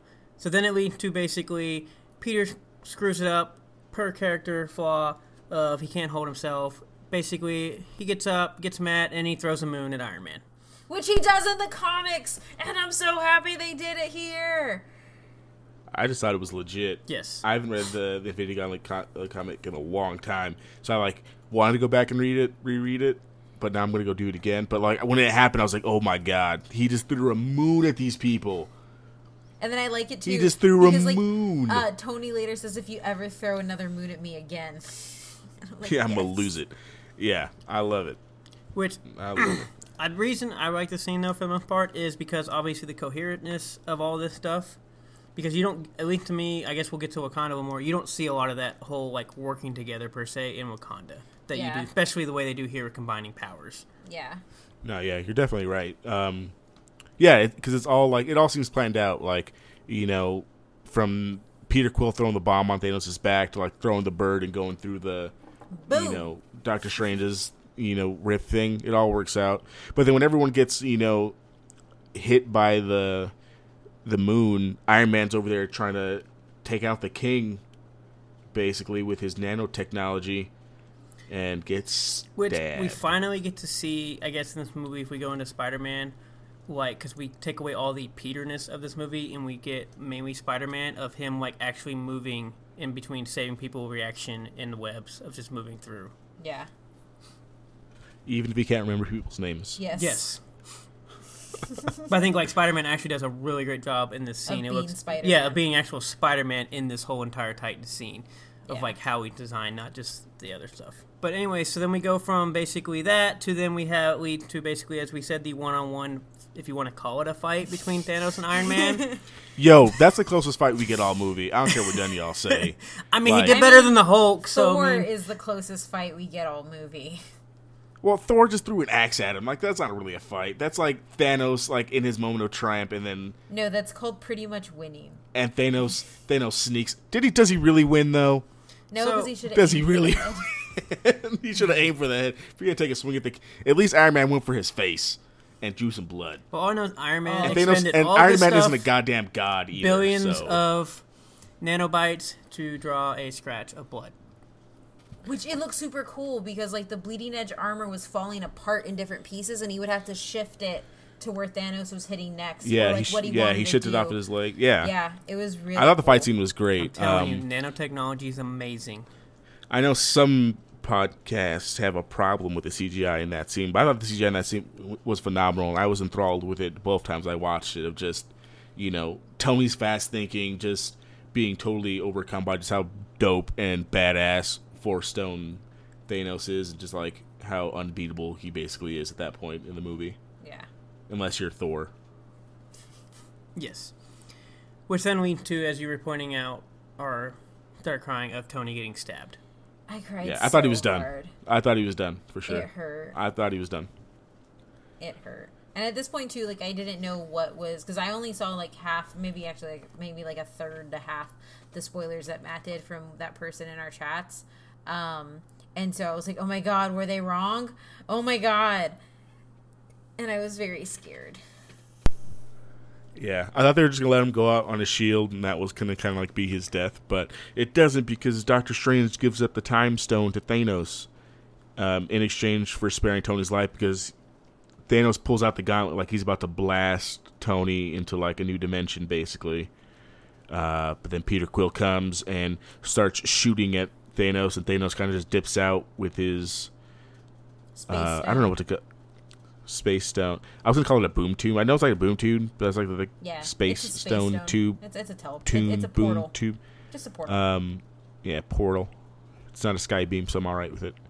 And then he teleports to Wakanda to go, basically rip, uh, rip the stone out of Vision's face. So as we're at this point, basically, we have a battle ensuing on Wakanda, as the other people went down to then find Vision, as they're trying to remove his stone, and so their whole goal is War of the Rings style, which I remember why I love War of the Rings so much is big scale battles of everybody running in. Yeah, yeah. Do you want to say who they are that are all there? So all of Wakanda and basically Black Widow and Captain America and all of his gang versus basically all of the dogs. yeah, they're like these weird, like Chitauri, different colored Chitauri things that are Yeah. like have like six arms, like six Yeah, six it's dope. limbs. It's crazy. I mean, can I be honest here? Like, I know like why you know the Winter Soldier he loves his you know machine gun thing, but like they couldn't give that dude a fancy Wakandan like machine gun. All I can say is I was like, Rabbit why- wanted like- that gun, and so I'm yeah, assuming Rabbit it was a good want that gun. I was like, but if Rabbit, I mean, if stop calling him Rabbit. You disrespectful. You're not Thor. Stop disrespecting Rocket. But if Rocket sees like the Wakandan guns, I'm pretty sure he's gonna want a Wakandan gun like immediately. I mean, after he sees also one. wanted his arm. That, did want his arm. That was where that at least I don't remember seeing. Maybe Adrian, if you're starting see of them actually breaking out all the big guns from Wakanda. I don't know if it's because they were still recovering from, I guess, actual Black Panther movie, Yeah. but it didn't. Well, I mean, the not like they didn't have like any anything big. I mean, I guess like all their ships kind of got blown up in the Black Panther movie for the most part, but the Warriors do have like the spear thing. well, I know that, but they don't Yeah. have like the actual. Looked like I thought they had all the battle guns. Mm-mm. Where are my battle rhinos? They can't be True. sacrificed. Well, no, True. it's because they kicked W'Kabi out and put Mbaku in, and so we got the Jabari. Yeah, Um, yeah, my boy Mumbaku. Yeah.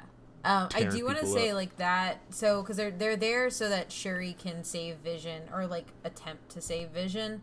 Um, so like Scarlet Witch isn't on the field at all, and like when they like let the, it was really like like you said like a big scale battle where they let the dome of Wakanda like open like slightly for them to like come inside, and Cap and Black Panther are running like full force and they're the only two keeping up with each other. And Cap lands that first punch and then Black Panther I'm just like oh my god so good. I know, I know people like have saying that like Cap wins the first punch, but Black Panther like they both landed like right next to each other T'Challa definitely ju- is the first to jump in. Like, T'Challa's the first one to jump. yeah no T'Challa jumps Yeah. in first Cap runs past him Now T'Challa jumps into the like it's like the middle of the pack before Cap does. I didn't know this was a thing. I know, I know, it's like a small detail, but I've just seen it on Twitter so much that like Cap throws the first punch of Wakanda. He, I'm like, not does he using it really? in a negative like context at all. No, I don't No, think I know, I know, but I'm just were. saying in general, like on Twitter, I keep I keep seeing it. People saying like, "Oh, uh, Cap's out there being a soldier and running in there past uh, T'Challa." Like, no, they ran at the same speed and kind of got there at basically the same time. No, 'Cause they're both basically- Cap, Cap. Cap runs a little bit faster. I don't know. All I know, T'Challa gives a speech of like, "We have no choice." His Lord of the Rings speech, because this literally looks like it could totally be from the last That's scene. why it's awesome. and basically they both take off running. And I don't care who gets there first. All I know is both of them are way ahead of everybody else Yes. Yeah, Yeah. and Banner's just slipping and falling who actually in face bumps. Hulkbuster. Yeah. Which is kind of cute. Banner's just adorable.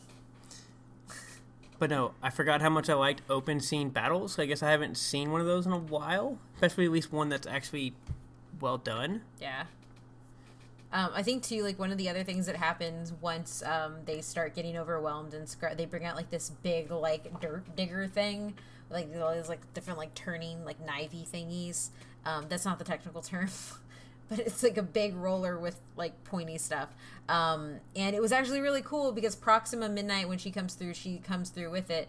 Um, and before Wanda shows up to like take it out, you actually you get Okoye and Black Widow fighting together, and it's everything I wanted. And I want an A Force movie because it was so badass. Like they don't really talk to each other, but like how like cohesive they are as a team fighting together is so good. And then fighting with Yeah. Proxima, like it's just it's awesome. it's super dope and it kind of puts like all like the conversation of like what happened after Black Panther. People saying that like Okoye and would kick the shit out of Black Widow and would destroy Wonder Woman. Like like would she really? Like they're just they're all they're on the same team fighting Yeah, for the same and- for the same thing. So if I'm they not- head nodded to each other like they were there to fight that horn chick. and I'm pretty sure the horn chick kicked both their ass. they she does end up Yeah, knocking she was them out at the end. But Yeah, it's she really was about to beat them both. Yeah, she she was about to beat them. Um, but it was still really cool to watch them. And then you have um, Scarlet Witch coming down and just wrecking shop. Like that is the Scarlet Witch that I know and love, and I'm finally happy to see on the big screen. like that. Which lead to, as we kind of talked about, like the OP characters are finally showing that they're actually OP. Yeah. You see a full Thor, you see a full Scarlet Witch, you even see a full Doctor Strange. Can we talk about Thor using the power of the Bifrost to just like come in now? It wasn't to immigrant song, so it doesn't matter. But Stormbreaker has a power of the Bifrost, and he like it looks like it, they do like kind of like this in the vein of Lord of the Rings. This oh my god, we're losing, guys. How can we do this? Close ups of Cap and being bloodied and everything, and then all of a sudden you just see like the giant Bifrost hit. He comes down with Rabbit and Tree, and he just like lights everybody up, literally, and it's so good. Very good, very good. And then the uh I am Groot. I, am, Steve, Rogers. I'm not a huge fan of Captain America, but that one got me, man. Like that was very like in character for for Captain America to meet this tree thing who he's never seen before. And that's his response. I'm I'm about it. Yeah. uh, also, it was ad libbed the the line between him and Thor, where Thor is, or uh, where he's like, "You got my hair," and he's like, "And you copied my beard." That was that was so love that. apparently that. was the first time that they had been on set together, and uh, they realized that they had that, and so they just said it and they kept it in the movie. So I like it. yeah. So anyway, Scarlet Witch fucked up by going down to protect everybody, and she has to go back. Uh, and they end up getting Vision. Vision has to escape, and then um, so essentially, kind of missed this, but the whole thing is that Scarlet Witch is the only person because her powers are derived from the Tesseract that can like destroy the mind stone that is in Vision's forehead. They were there so that Shuri could detach it and then she could destroy it separately. That plan failed when they ended up storming. Um, one of the children of Thanos ends up storming the thing, and um, Vision ends up leaving with him. Vision's about to die. Steve saves him, and then they all come up And then all of a sudden, Thanos. And Thanos backhands everybody trying to get to Vision. Um, and then you get that really cool cap scene where he's holding Thanos, and Thanos looks a little bit surprised, but then he just ends up backhanding him too. Yes. Um, and then when he comes up, you have what I think really showcases Scarlet Witch's power is as she's starting to destroy the stone in Vision's head. While he's saying he loves her, and it's so heartwarming, she holds Thanos back like effectively and she's exerting power like in two different ways destroys the stone you think it's one and then thanos is just like no and then he just doctor stranges it winds it back and takes the mind stone and it was all for nothing and she has to watch vision die twice Which might come to be one of the most messed up part of the movies of she not only killed her love, then she got to watch him get killed. Snatched the forehead straight off my guy. Yeah. Just like Yeah. you were nothing. yeah. He just Give picked me it that. up just picked it up. Um, which that hurt because they're probably one of my favorite comic book couples.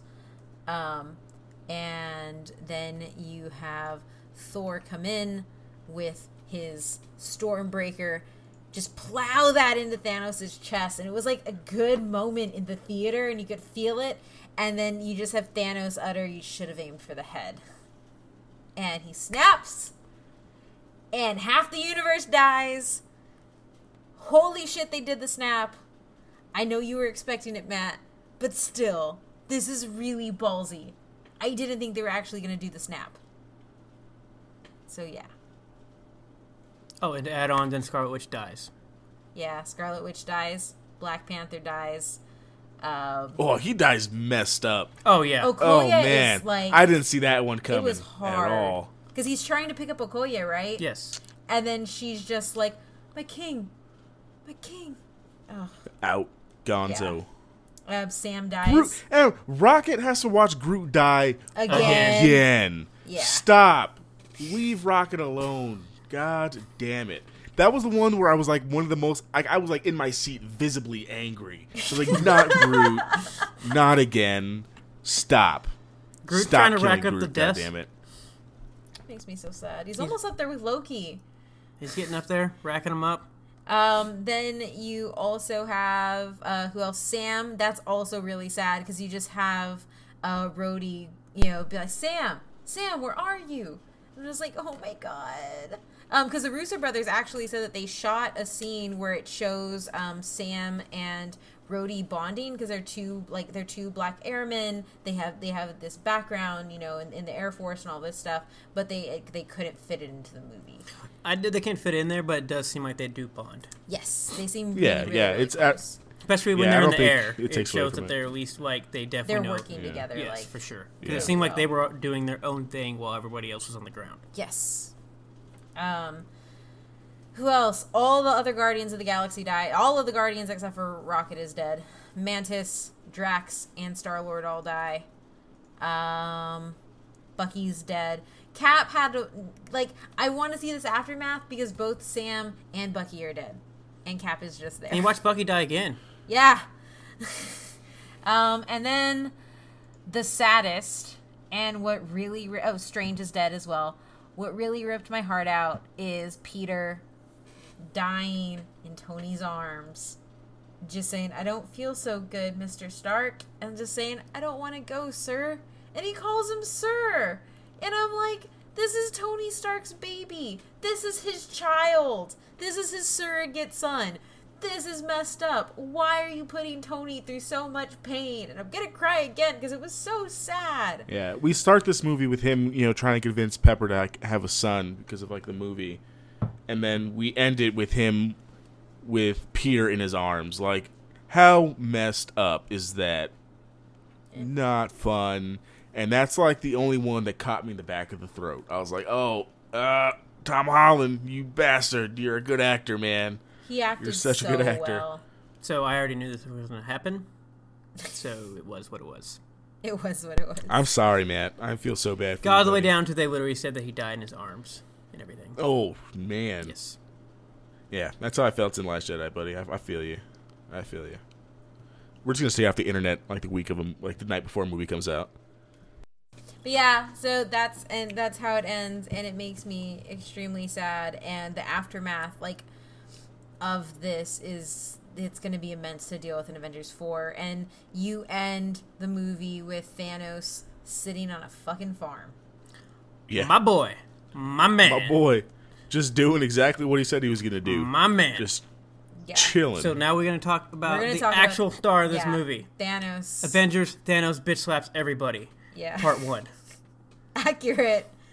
No, Thanos is the best Marvel villain, probably the best comic book villain that I've ever seen on screen. Um, and that's a testament to Josh Brolin's acting and the Russos for not. So, like, what happens a lot, what I, I've been thinking about with CG is like they treat the CGI actors or people like they're this otherworldly thing. It doesn't matter. But if you notice, like in all of Andy Serkis's roles, and then specifically in Josh Brolin's role, where he's like he is treated like another character. He's given depth and emotion, and like he acts the crap out of it.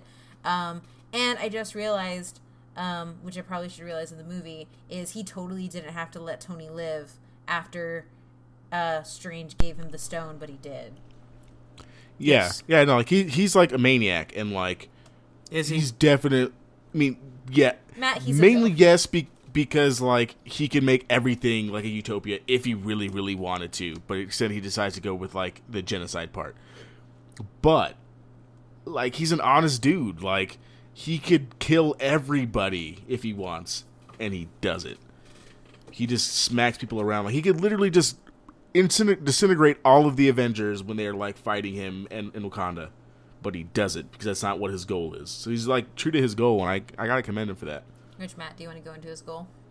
Oh, do you want me to tell it or you tell it? You go for it, Matt. I've, when I'm watching, I'm like, this is Matt, So, so and I'm not even joking when I say that. Like I'm watching it, like I'm listening to him say his plan. I'm like, holy, this is Matt right now. Like so his whole goal people. and Logic Thing want to collect all these stones to then erase half of the world, or not the world, the universe population, basically due to overpopulation, so that basically you don't extinguish all the resources and life can then restore.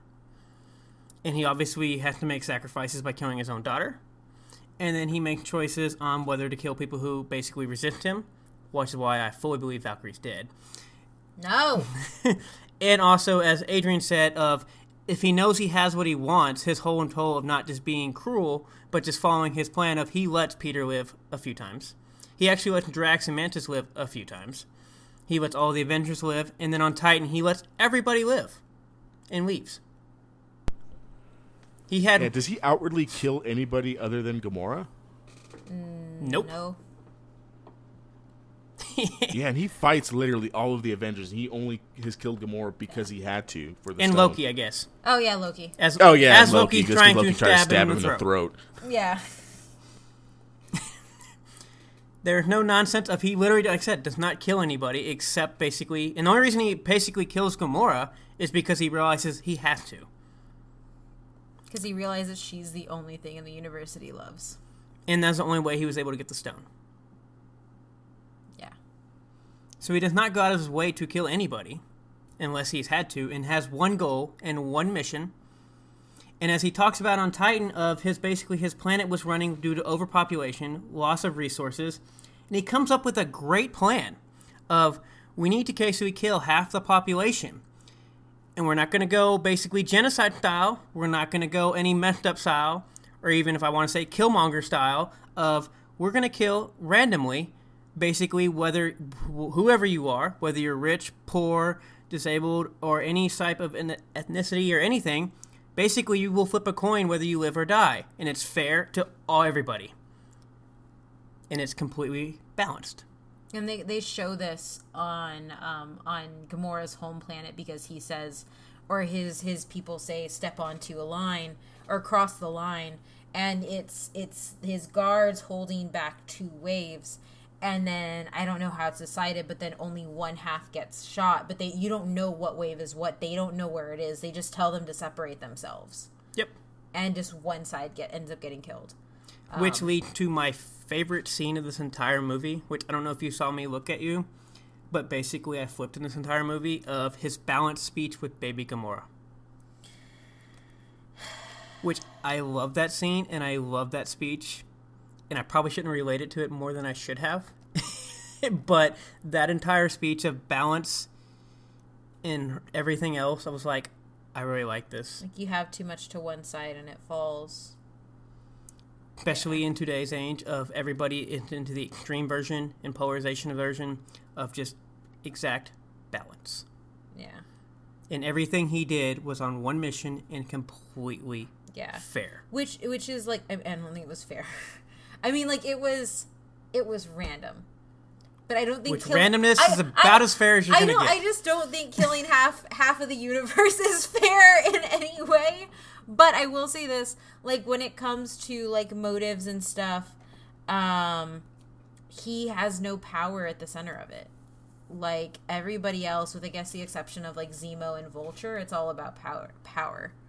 Um, and for him, in the comic books, in in Infinity Gauntlet, his big thing is that he is attempting to get all the power from the Infinity Stones and kill all this stuff to impress Death, um, and pretty much like he's in love with Death, and Death is a character that he pretty much just wants to like marry and like be a part of, and he wants her so bad. This is why he does it, and he does it for that power, and I make the stance right now that Thanos in the MCU is better than any comic book adaptation of Thanos. And it has to do with the fact that they made a giant purple CGI guy one of the most relatable villains in history. If you don't think this actual discussion is going to happen in about 50 to 100 years, you're insane. Yeah. I just don't think in a finite universe, with no matter how much you go, there is a limited number of resources. Whether you can even extinguish, you can bring back all the trees to make new wood, all the times in the world. But then you're going to need more houses for more Yeah. people. Eventually, you will run out of space. Yeah, and then eventually, like, you'll keep running out of resources because populations, like, either way, this is a maintenance thing. You're gonna have to keep coming in and killing people. Literally, what he was doing was in. basically the circle of life to me. Because if you look at the planet's histories and everything else, we have mass extinctions, and the Earth just recycles. yeah. This is what happens. Yeah, and we kind of do it like with population control with animals already. Yeah. Yeah. So like, we we already do that as like a human race Yeah. with other species. So he's not A mad. all that wrong. He's wrong. Like he's the villain. I don't Like, think he's actually wrong. He's the villain. I honestly don't. And our hero, and our heroes are like, well, he's wrong because he just make everything right. Like he has the power to literally make everything right in the world, and he like he, does. he's But the not, problem I see but is- he's not restrained by any reality. He's not restrained by any time. He's not restrained by anything. Like the Infinity Gauntlet gives him the So- power to do anything. But what if we make everybody immortal then? So there is no death anymore. What happens then? I wasn't saying make them all immortal. I'm just saying make it so that you can make make the resources. Well, I mean, if you're saying you can make everybody's lives better, why do you have to die then? Oh, yeah, you can make that reality. Yeah. So, but I mean, eventually, but I mean, if But nobody dies and then burst to die. like I said, this whole thing is basically a cosmic of basically a cosmic version of the circle of life. This happens one way or another. Our planet will eventually But die. he and can eliminate the circle of life with Infinity Gauntlet. He can literally do whatever. Yeah. I get that, and I understand that, but I just don't see what you could possibly do where you eventually don't have a problem. Well, that's why you don't deserve an Infinity Gauntlet, Matt. Exactly. I mean, that's Because fine. I don't, 'cause I don't know either. I, I just think I think every outcome has maintenance because essentially Thanos is going to keep this gauntlet. He destroys, he kills half the population of the universe. That population is going to get back up. Yeah, it may take longer than if he like regrew all the trees and added more land or made an entirely new planet for people to go to. Like, but it's still something that requires maintenance. Like solving this like degradation, de- degradation of society and everything requires maintenance in certain steps at any time, which is why you have like you mentioned like animals, Adrian. That's why there's not just one deer hunting season. Like it keeps coming up whenever they need to control the population of that animal, and so like even that like that is also uh, that's also an outcome that is going to take maintenance as well. I just don't think eventually you're gonna have to. People are gonna have to die. Natural life cycle. Don't make them immortal. Just like Well, I know, give but eventually give them the resources that they need. That's Well, it. let's say you advance all the technology, you're gonna get to the point where it's gonna eventually be lack of space. Even like I said, you can give everybody the most resources, anyways. Even though you are definitely, I guess, with bending of reality, you can do whatever. yeah. I still go with the, you know, if you use like the laws of. But that doesn't matter. He turned Drax into little little little spirally things. like it, none of that none of that matters. Physics does not matter. I know. I just don't. I just didn't think, as a Doctor Strange way of long term game, there is no way, without sustainability of killing, pe- that you're not going to have to get rid of people. I just think long term way there is no solve. I know, Long- but eventually you will way, have to kill no people. solve. Eventually, like something will end up killing people. Like the, the planet ran itself into the ground because they killed it. Like that's what happened on his planet. And so essentially, he's just prolonging the inevitable. Like ultimately, like none of this is a solve. None of this is a solve. It is it, it is eventually going to have to lead with planets killing their own people because there's nothing there. It's just how long it takes to get to that point. Or So you restart part- life by thousands of years, depending on the planet, if not even more than thousands of years, by doing this. But it's the same thing if he creates infinite resources. No, if you create It's infinite resources, you're going to have more population growth. Will catch up faster with more resources. And then you just make more resources because it's the damn Where are Infinity all this Gauntlet. stuff going? It's the Infinity Gauntlet. Perfect societies. Don't even gotta upkeep them. I just don't know where all this stuff's going to go. Either way, none of it's solvable. Infinity Gauntlet. Ben's reality. Ben's time. Ben's space. Anything. You just make a giant, use a space stone, make a giant hole in the center of it, and you just throw all your trash in there. It just goes to nowhere. Literally been to nowhere. Place, I was like, literally the place nowhere that is now up in flames where the collector lived. Yeah. No, I just think ultimately, like, it is a cycle that is unstoppable. And I think thinking you can stop that cycle, even like by prolonging it that way, like you're still not doing that in the long run because all those people are still going to die. You are still losing people and you still have planet death. It's just prolonged. And I just, I don't know. I think that Thanos was ridiculed and then he had the power to do it and so he did it but I think ultimately, like, I don't know. It's it's really weird to have a villain that keeps their word. But yeah, Yeah. Um, I did not expect them to.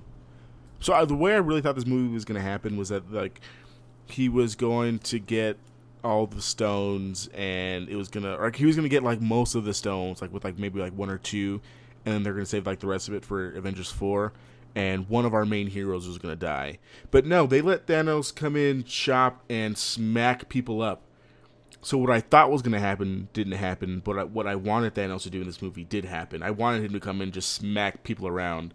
Um, I want him to go and just like pimp slap Black Panther after his movie just came out like two months ago, and it all happened. So I like Thanos. I think he's a little crazy, but I can see his point of view.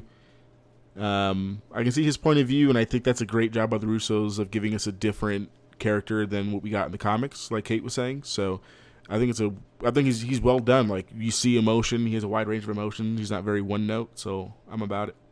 I'm happy with it. okay. Um, so I guess from the movie, is that a wrap up? Are we done with Thanos?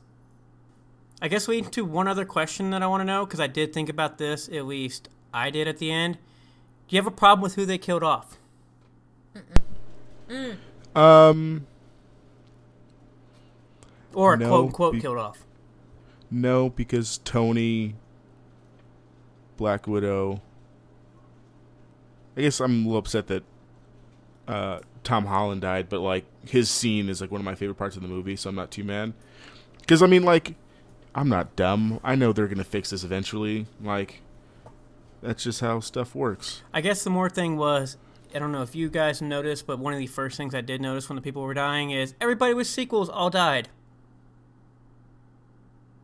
Well, I thought they just like went to do with like the original Avengers, so like the original Avengers can be the one that kind of like take down Thanos, Yeah. like for the most part. So like Just because like all, all I was thinking was like Tony's line in the first Avengers movie of like if we can't save Earth, you know, you be damn sure we're gonna avenge it. Right, right.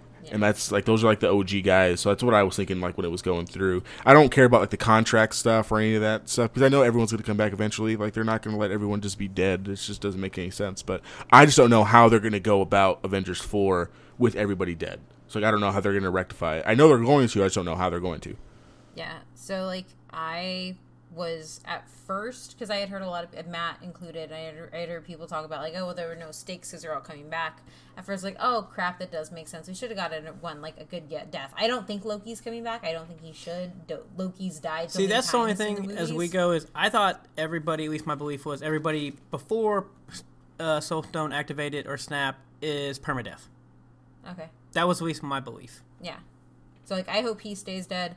Um, but ultimately, like the way like I started thinking is, if we had lost one of the main people in this movie, like we don't get a lot of time with all of them. We don't get a lot of time with the people that we started this journey with, and so to lose them in a movie where we don't have a lot of like extra back, not like not extra background, but like more exploratory and like importance to them. Like I think every character in this movie was important. I don't think there's there's not a single piece of this you can cut out, but I do think that having like Tony and Cap didn't meet each other again. Like I want to see that, and so like for me, I see them getting rid of these people, making Aven- Avengers four, like Adrian said, with the original ones fighting Thanos, and then having a permanent death, and having deaths that mean it happening in four. Like the stakes are really high for four now. Now that I think about that and you say that, how are they getting off Titan? Oh, Nebula's there. Is she? Yeah, Nebula Nebula's crashed there. his ship into Okay. into Thanos, Okay, okay. so I'm sure they're just going to Yeah, use that's that, that. fine. that's, I- I that's how. She, yeah, that's how she finds out, or that's how they find out that Gamora's dead. Ah, okay, okay, okay. I could I didn't remember that part. Yeah. Anyways, Yeah, she crashes her ship into Thanos. yeah. Yeah, that dude just takes a beating. It does not go down. Nope. Yeah. So like for me, I see it as a way. Like I know some people are like, there were no stakes, there were no this. How you know the deaths were cheapened, and my emotion was cheapened because of that. Um, but no, I think it's fine knowing that these people are going to come back because I think for me, it makes me even it makes me scared going into four because hopefully they won't do this like this again where they kill people and bring them back but then again it's comics and everybody comes back in the comics which is another thing i have in my head but like most important like they're gonna give on-screen deaths to the characters we've been on this ride with for so long and have them be extremely powerful so which leads to I guess my one other thing before that. I don't know if Adrian, if you have any other quick thoughts on that at all for stakes. Um, no, not really. I mean, I'm sure the stakes are going to be high in the next one. So the thing I want to see is what I'm inter- more interesting is you were talking about like as far as like moving on to part two is I want to know is probably the most interesting question to come up is not whether Tony lives or dies, but whether Tony gets to have a family, or basically can never let go of anything, and ends up in a situation probably worse than death. that hurts so much don't say that matt no, like he's. I think he's definitely going to be like the Luke Skywalker of like this universe, where just bad stuff is going to happen to him all the time, and he's never going to get a happy ending, and he's just going to like end up sacrificing himself to save everybody, just like he did in Avengers One, and he's never. Yeah, he's never he's never to get that kid. I think. uh they're gonna let Cap be happy. I'm pretty sure Cap's gonna be happy. Like at the end of all this, I'm pretty sure they're gonna kill Tony. I think Tony's done in, in Avengers Four for sure. Yeah. I like to that point what I'm most interested in in seeing Avenger in Avengers 4 is how all of these people who lost people so close to them deal with that grief. Um, I know they can't do it for a long time because it's a movie, but just seeing that that aftermath um, is what I really want to know, and I think it's going to have to do with like him. I think Adrian's right, uh, or right about Tony. I think they're also going to kill Cap, but I think he's right that I think Tony's going to have to finally face the fact that he's not going to get married to Pepper and he's not going to have a baby, and that's just how it is. I, I definitely see Tony sacrificing himself to bring Peter back. We don't even know if Pepper's alive. No, no, she is. How? Oh, yeah, we don't know if Pepper's alive. We don't know if anybody's alive. Yeah. We don't know who's alive. We There's know- a lot of characters I can tell you we don't even know. For all we know, Valkyrie is completely dead, and if they're not, they got her on the second go. Yeah. Unfortunately, We don't know if Happy's alive. Yeah. We do know that uh, Fury is dead, as is Maria Hill. They couldn't let him say motherfucker Yeah. on screen. His. He was close. He almost got it. They almost let him do it. They should have let him do it, man. It's the end of the movie. Like, what are you going to lose? Like, we were already here for two hours. Like, by this point, we expect it. Yeah. And if kids don't expect it, y'all go watch some Samuel Jackson movies. I also think too, like, so this actually made me kind of. Um, people didn't like the post-credit scene.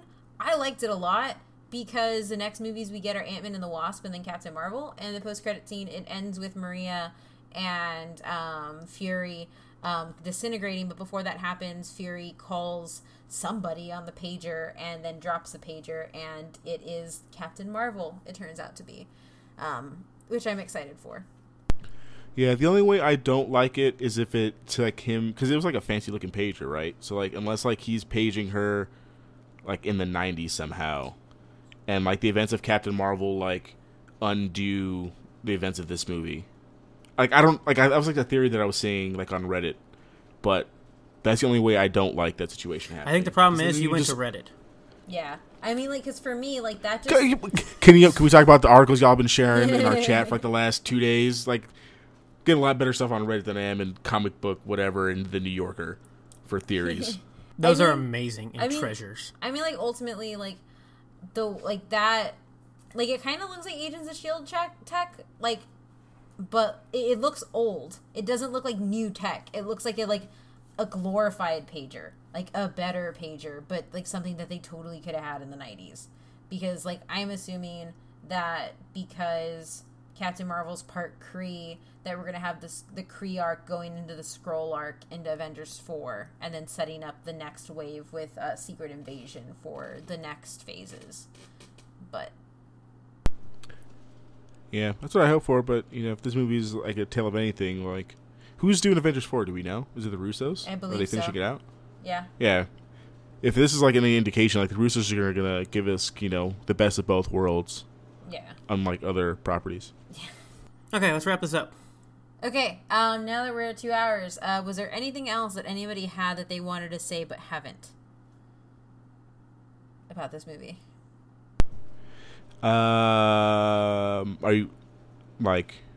No. I mean, like negative wise, or, Or uh, yeah, so I guess be- oh yeah, favorite part. Uh, I don't know what my favorite part is. Uh, Everything. I really can't pick a favorite part to be honest. Like off the top of my head, I can't. I can't think of like a moment in the movie because everything's just like one long action ride of two and a half hours. Like I don't know. It's all one big scene to be in my head.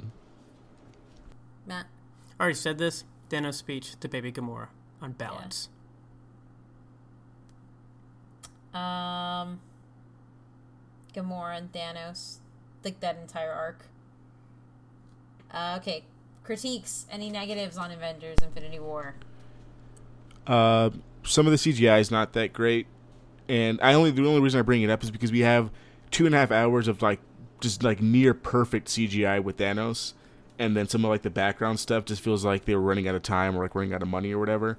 So we have like uh, some of the stuff with Rhodes and Banner and the Hulkbuster are kind of distracting. Like it's very very minor, but if we have to talk about negatives, I think it's worth mentioning that some of that CGI is not that great.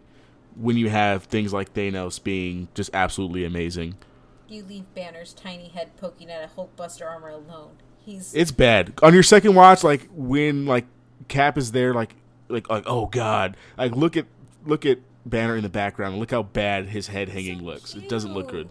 Okay. Matt. Um, go to you first. I don't actually think there's anything that I would change about this movie except for make it an hour longer and give me more background on like Scarlet Witch and Vision and more Cap stuff. But like that's putting another hour on it. So like if you're not going to put another hour on it, this movie's fine how it is. I don't know, honestly, because it was very well put together. I mean, there wasn't really anything that really stuck out or stuck out to me. I mean, I don't think it's like the most perfect film I ever saw, but some of the stuff like the death wise and everything. I guess it was just hard for me to feel some way, or I didn't have the emotional take for a lot of that stuff. Especially considering I knew what was going to happen on a lot of it. I don't really.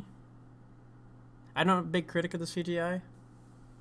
I don't. Because it's like pizza. Put it this way, it wasn't bad CGI. It wasn't something that's super noticeable that was bad. Okay, so Yeah. rate it. So you want me to rate it? Rate it. Yeah. Um, Rate it, and then where you have it in your Marvel rankings. um, as far as rating it, I give it a nine point five. I enjoyed it. Nice. Adrian? Oh, I'm at a ten out of ten. Um, this is my favorite Marvel movie. It's my favorite comic movie, to be honest. Uh, just because it's like in the culmination. I, I don't even care. Like if you want to take it as like as a movie itself, with you know the you know the film student critique of like how it's put together. Like that's besides the point because this is a an you know a bookend part of 18 years and 10 years 18 movies and 10 years of my life. So it all came together how i wanted it to come together and it surprised me in other places. So it's you know like i said it's the most fun i've had in a movie since the force awakens and before that the only thing i can think of that gave me this kind of excitement was avengers. So i think it's definitely my favorite at the moment. 10 10 thanos slapping avengers out of 10 Um, I am at a solid 10 out of 10. 10 out of 10 moons being thrown on this movie. It is my favorite Marvel movie. It is definitely number one now. Um, I don't think it's my favorite comic book movie because I think Logan is better. But like that's also something I usually I don't think any like comic book movie can go against. But this is definitely better than anything that I've seen put out um, of a comic book movie other than Logan. So I was definitely saying it's probably my favorite comic book movie per se.